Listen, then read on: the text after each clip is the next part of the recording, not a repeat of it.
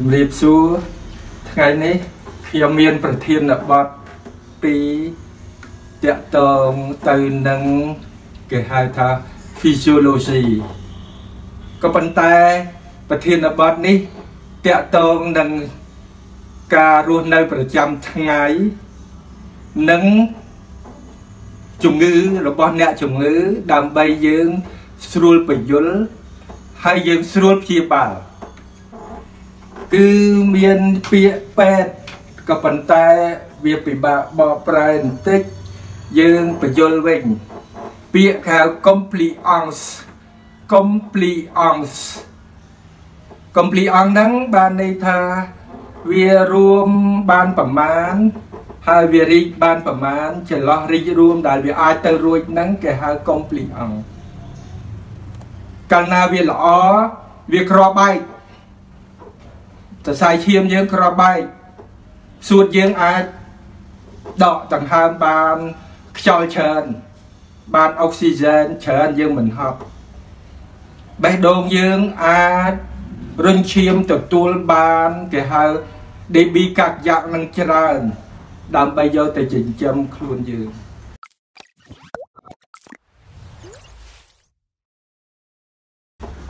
ចឹងពាក្យនេះវាចូលដល់ physiology ប៉ុន្តែ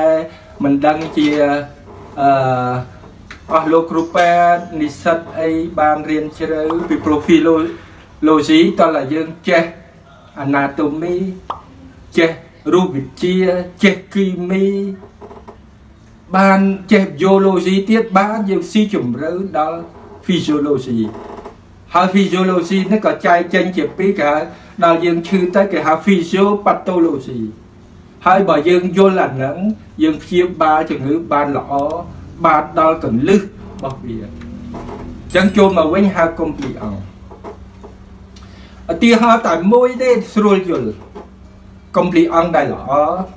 ដែលគេធ្វើគេហៅស្រោមអនាម័យគោលបំណងគឺកុំឲ្យឆ្លងមេរោគកាមរោគហើយកុំឲ្យបែក ក្មេងវាយកទៅផ្លុំលេង ទៅជាពេញប៉ោងមួយធំអត់បែកអញ្ចឹងកុំពីអង្គវាខ្លាំងណាអញ្ចឹងតសៃឈាមក៏ត្រូវការកុំពីអង្គដើម្បីកុំឲ្យបែកនាំឲ្យមានឈាមនៅពេញខួរក្បាលធ្វើឲ្យយើងខ្វិនឈាមនៅបេះដូងឈាមនៅគ្រប់កន្លែងហ្នឹងគឺថាដោយសារសរសៃឈាមបើវារីករួមបានល្អ គេហៅ complete អង្គវាបានល្អហើយអញ្ចឹងធ្វើម៉េចបើបាន complete អង្គឲ្យល្អខ្ញុំនឹងបញ្យល់បន្តិចទៀតហើយវាមានអតិពលអីខ្លះទៅលើ complete អង្គមួយទៀត alveol alveol វាត្រូវជាងដោយកូនបិប៉ោងវាត្រូវរីករួមនៅពេលដកដង្ហើមចេញដកដង្ហើមចូលនៅពេលដែលយើងប្រឹង ដកដង្ហើមចូលមែនតែនគេហៅ espasmo physiologic alveol ខ្លះវាអត់ទាន់ប៉ោងហ្នឹងបានវាប៉ោងអញ្ចឹងយើងខំដកដង្ហើមចូលឲ្យខ្លាំងដកដង្ហើមចេញឲ្យខ្លាំងនៅពេលនៅមាត់សមុទ្រនៅលើភ្នំនៅមាត់ទន្លេដែលគ្មានទន្លេដើម្បីបង្កើន compliance សួតវានៅមានស្រោមសួតវាមានអីចិត្តតែគៀបវា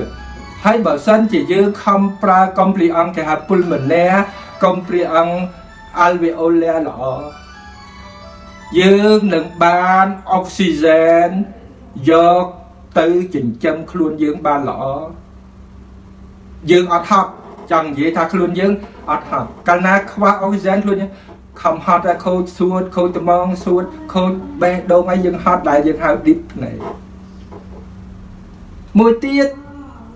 បេះដូងត្រូវការគេហៅ DB កាប់យ៉ាឲ្យបាន5លីត្រក្នុង1នាទីដើម្បីចិញ្ចឹមខ្លួនយើងក៏ប៉ុន្តែបើយើងបំបែកទៅគេហៅ DB systolic គុណនឹងចង្វាក់បេះដូងបាន DB កាត់ DB systolic គឺ កម្លាំង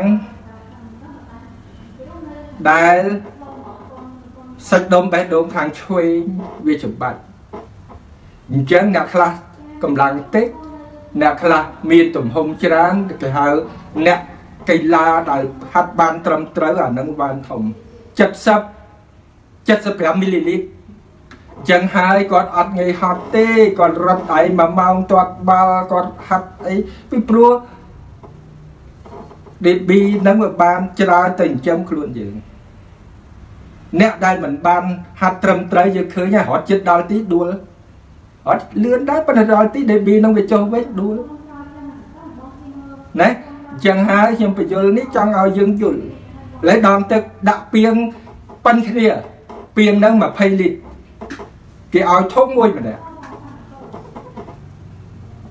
អ្នកដងទឹកដាក់ ធុងពេញទឹកលិចពេញដួសមកមួយមួយហើយអ្នកដងទឹកញាប់ណាឈ្នះគឺថាគេបលិចធំទៅបានទឹកពេញបានគេដល់មួយមួយគ្រប់ចំនួនគេឆាប់ពេញពីង20លីត្រ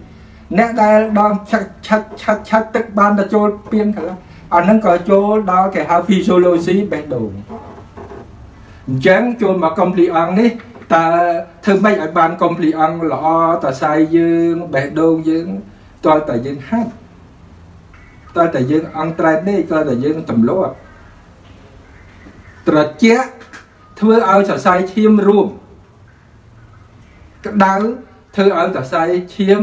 រីកបើអញ្ចឹងបើយើងទម្លាប់ថាទៅស្ទីមទៅសូនណាយើងត្រាំទឹកក្តៅសរសៃឈាមយើងរីក ពេលយើងចូលទឹកត្រជាក់សរសៃឈាមរួមដល់អញ្ចឹងការរីករួមសរសៃឈាមហ្នឹងបានល្អគ្រាប់បែកមួយហ្នឹងការដែលយើងទម្លាប់ទី2ប្រព័ន្ធ2ដែលធ្វើឲ្យសរសៃឈាមយើងរីករួមប្រព័ន្ធសម្បតិកឲ្យរួមប្រព័ន្ធបារ៉ាសម្បតិកឲ្យរីកអញ្ចឹងហើយបានជាមានថ្នាំគេនៅពេលឈប់គេឲ្យប្រព័ន្ធសម្បតិកដើម្បីសរសៃគេហៅ vaso pressor ជាងពាក្យ compliant នេះមានន័យណាស់សូមឲ្យយើងទម្លាប់ខ្លួនយើងយើងរៀនខ្លួនយើងឲ្យសរសៃឈាមយើងល្អកុំឲ្យមានកកខ្លាញ់ខាងក្នុងកុំឲ្យទឹកនោមផ្អែមកុំឲ្យជក់បរិយហាត់ប្រាណអីដែលធ្វើឲ្យ compliant ល្អកាលណា compliant ល្អយើងរស់នៅបានយូរយើងមិនហត់ហើយកាលណាមិនហត់ខួរក្បាលយើងល្អឈាមចិញ្ចឹមបានល្អយើងបញ្ញា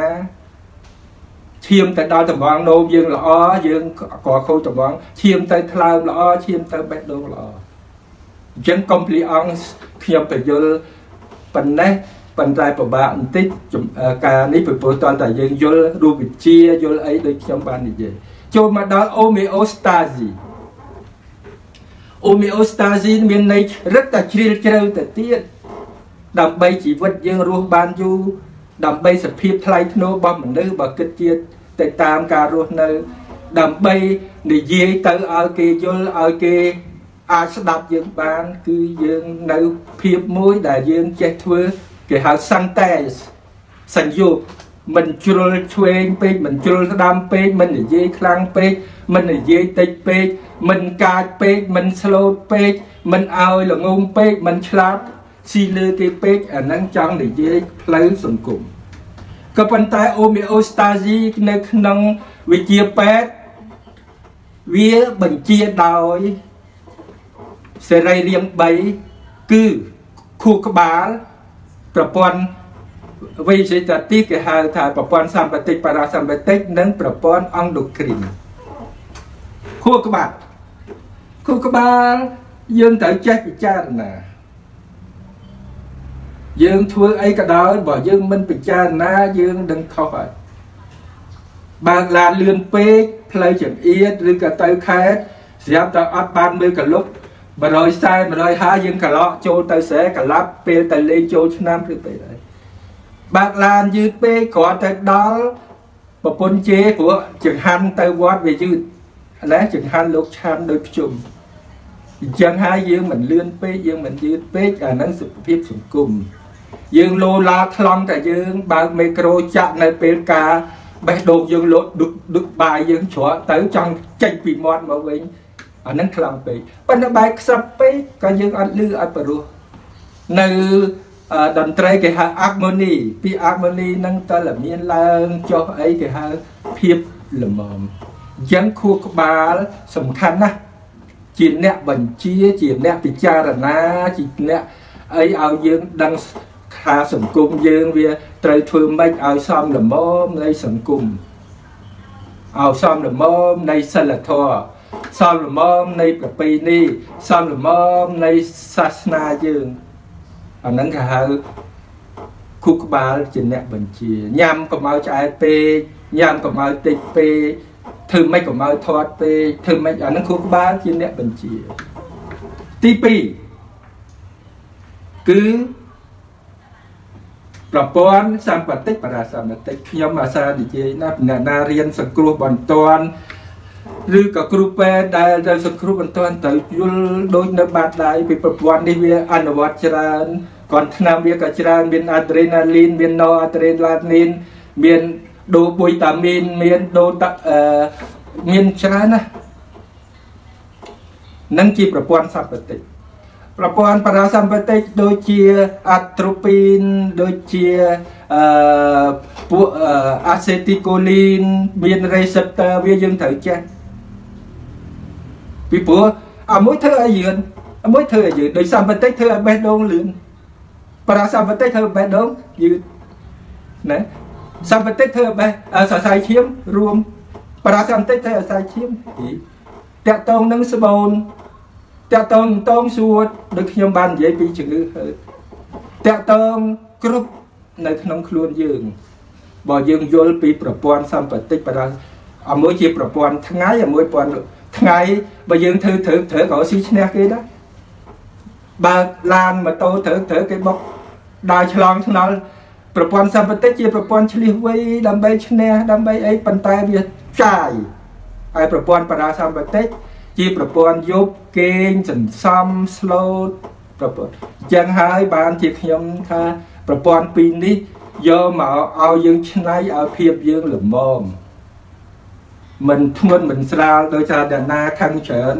ខ្មែរយើងចំណាំនិយាយថាអើយ dystony dystony dystony បានជាព្រោះប្រព័ន្ធថ្ងៃហ្នឹងវាខ្លាំងជាប្រព័ន្ធយប់បានគេហៅ dystony អ្នកខ្លះដល់យ៉ាប់ទៅទៀតខ្ញុំថាចូលមកដល់មើលជំងឺអើមិនឌីទេវាំងទូនីនោះខ្លាំងហ่ะព្រោះនិយាយទៅវល់វែកលែងដឹង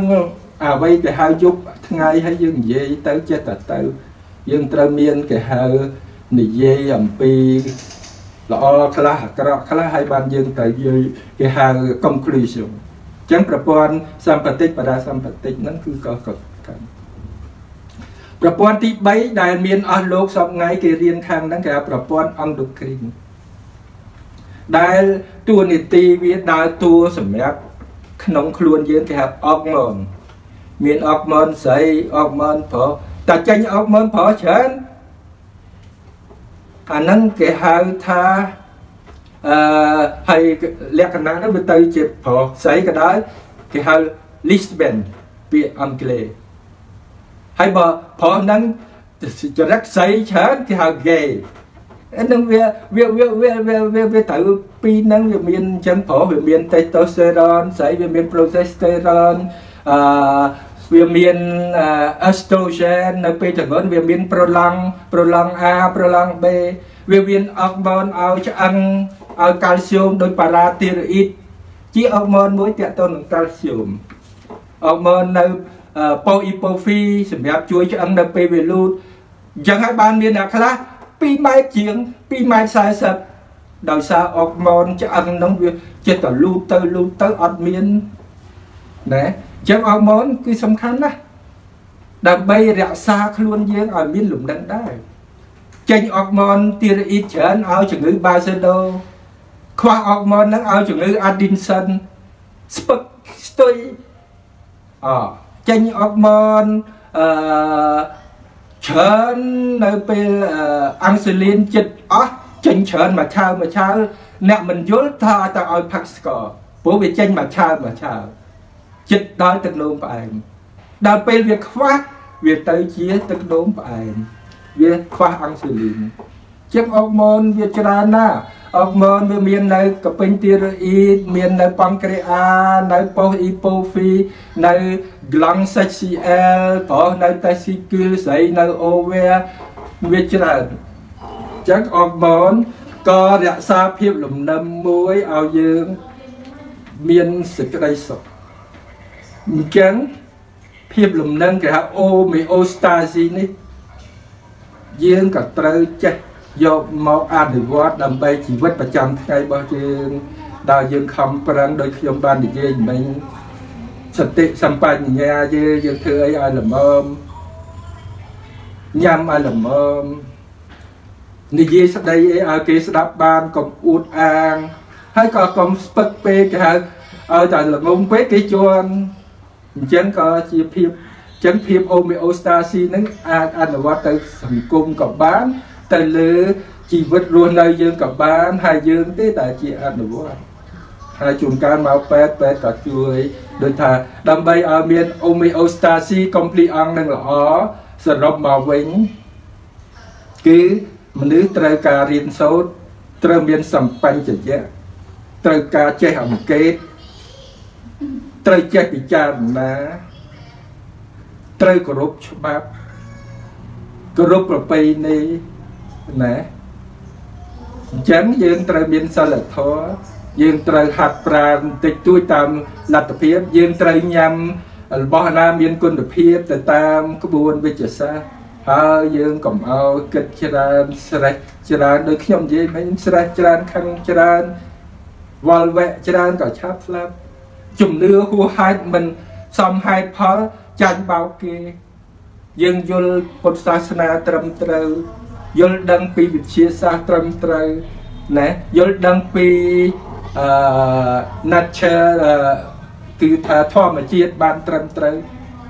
យើងបានសេចក្តីសុខហើយអញ្ចឹងនៅក្នុងនេះចង់បញ្យល់តែពាក្យពីរទេប៉ុន្តែបំបាយមកដូចត្រង់វាវែងតិចពីព្រោះវា